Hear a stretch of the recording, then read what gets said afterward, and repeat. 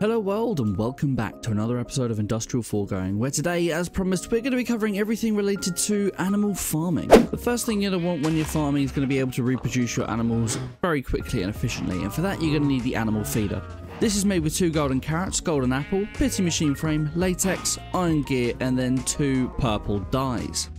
Now the animal feeder is very interesting. As you can see I have a pen full of various different animals and here we have our animal feeder. All you have to do is give it the type of food that the animals need. Obviously, for sheep and cows, you need wheat, and I don't have any in here for uh, pigs because uh, you'll need carrots. I've just got some Mekanism uh, pipes going in here. You can obviously have your uh, wheat farm from the previous episode um, to supply all the food you need, as well as carrots. So what we have in here is an add-on setup, just so we can have a larger area for all our animals. So let's turn that off. All I'm using is add-on range plus three. And if I turn this on here, it will just slowly process down, and then it will um, start, you'll see some love hearts. As you can see, it does two at a time right away, and they will go next to each other, and they will start breeding. And it will breed absolutely everything, but bear in mind that if you leave this on, eventually it may get a little bit overcrowding and things may start glitching out of the fences. But from there, how about we actually start getting some resources from these animals, and that is with the Animal Rancher. Made with three latex, a bucket, pity machine frame, two gold gears, and two shears, this little thing is going to actually harvest some passive ingredients from our animals. Now, it's not going to be things such as like leather, but um, if we have this here, we've got another add-on here to just give it the same range upgrade.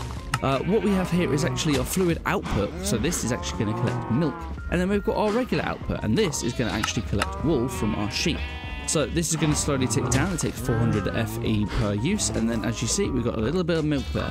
So it will just sort of pick an animal to do first. It looks like it's going to do all the cows first, if it can, and then it's going to do the sheep.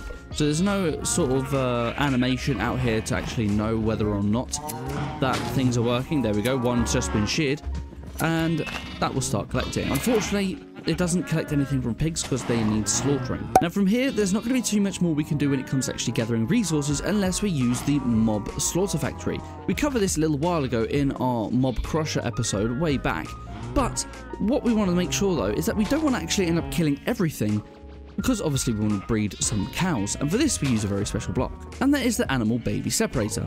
Made with two pieces of wheat, a pity machine frame, some plastic, golden carrots, again more purple dye and a gold gear, this is going to be very cool at actually separating our mobs to a different pen. So here we have our mob separator. When you place it down, what it will essentially do is take anything from the front that's a baby and teleport it to the back of it. So this here is the back, this here is the front. There's no way of really telling. It's a matter about where you place it. It needs a little bit of power. Now this can be configured. You can actually separate the adults as well. So if you just want to have babies in the front side and you want to move the adults, you can do that just like that. Um, but we want to move the babies. I didn't really want them to be on this side, but never mind. So all we're going to do is with our little feeder here, we'll turn this on. These guys will start getting breeded as you see any minute now. They're being bred, they're going to make a baby, and then that's going to transport this to the other side. Just like so. So now this pen, you could have your mob slaughter factory, just killing everything on this side, collecting leather, uh, wheat, lamb, not wheat, lamb and beef, and then you'll know that you'll always have a constant supply of animals to actually create your drops. Now before we throw on a mob slaughter factory here, there's one more thing I want to show off here, and that is the sewer. The sewer is made with pity machine frame, some latex buckets, four bricks and an iron gear, and this is going to collect sewage from your animals. It has to be placed in the bottom here, it has a working area, we again have another add-on, and when I turn this on, it's literally just going to start collecting sewage passively over time.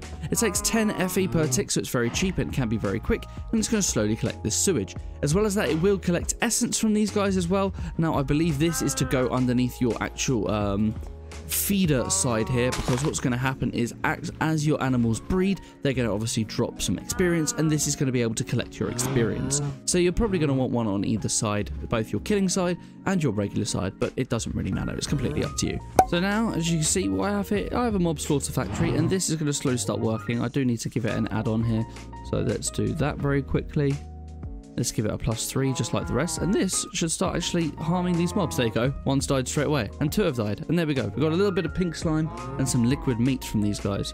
Now, the clever ones of you may have noticed that when I mentioned the Mob Slaughter Factory, that was actually the wrong block to collect items, as that is going to give us liquid meat and pink slime, which is for something else, which we have covered in the previous episode. We actually want the Mob Crusher in order to get what we want. So if you place loads of cows in here, this is going to start working away. Going to need some more add-ons, as always, endless add-ons we need. Let's place that in there, and let's just to speed up, let's put some speed, efficiency, and processing upgrades in here. And as you can see, this is killing all the animals here.